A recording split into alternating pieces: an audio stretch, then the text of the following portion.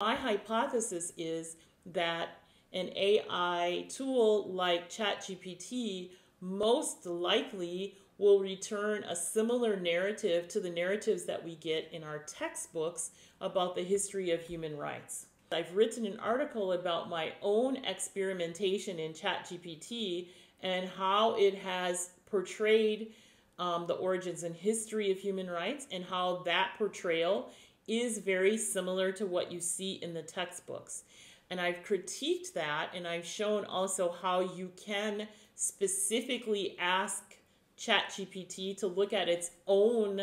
um, responses and to critique them again and to find a broader indication of how human rights and their origins are portrayed by other scholars. And also, you can ask it specifically to look at scholars that come from the TWAIL tradition, that's the third world um, approaches to international law, or you can ask ChatGPT to look at traditions like um, critical race theory or other types of critiques to public international law that are useful for getting a wider and broader universe of understandings of human rights and its origins.